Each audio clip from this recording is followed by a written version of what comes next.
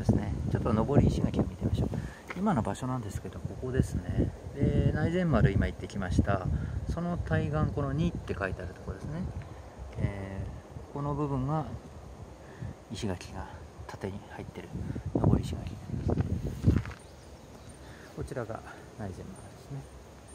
ここを区切ってますけどもしかしたらここからかもしれないですけどここに説明板がなんか説明板が毎回変わるような感じするんで。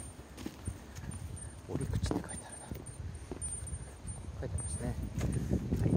上り石垣、えー、朝鮮戦争の時にですね、えー、牧川博恵子がこのお城にこんなものがあったんで、えー、ここに書いてありますね。そのお城を参考にということでこれは海外のですねこういうイメージで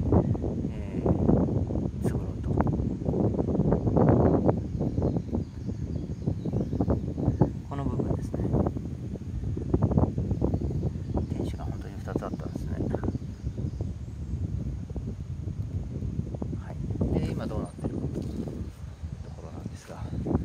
立ち入りできないんですがあの上にあのあれは天守じゃなくて櫓なんですけどあの下の裾までですね、えー、こう斜めにこうずっと降りてきてる。あの上り石垣っていうのは何かって一言で言ったらあの防衛のために作られた石垣なんですが要するに横の移動ですよね。横から攻めてくる。例えばここだったらこの道上がってきて横に行かせないぞと。で向こう行くには門をくぐるとかしないといけなくてま、っすぐに登られたらそれは山なんでどこでも登れるって話ですけどこれ今崩れちゃってるんでね多分これが一番最後のところかな。同じことか。書いてありますね。だからこの高さがですね人の高さの倍ぐらいの高さがずっと続いてるわけですよ。だからそれを越えてってなると横には行きづらいいけないと。そういう防衛なんですよね。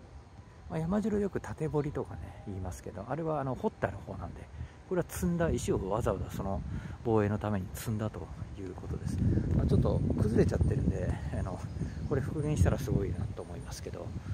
そうですね規模としたら、んまあ、彦根城とかにもある一部の長さ的にはですよね。だからあの必ず本丸まで行ってるかどうかっていうのはお城にもよりますけどもその防衛を意識した作りということで上り石垣があるわけなんでこんなところにねこれは多分見て海外で見てねいいぞと思ってキッカーボンを取り入れたんじゃないですかね。これが末端かもしれませんし後ろもくっついてるかもしれないですね、まあ、多分そうですね。これ後から作った道なんで掘削してますからこれがそうなのかもしれないですね。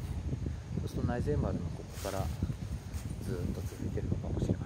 せん。にも説明板があってこっちにも説明板があるんでまあ基本的にはここの上にずっと登ってますよね。はい。米子城の上り石垣でした。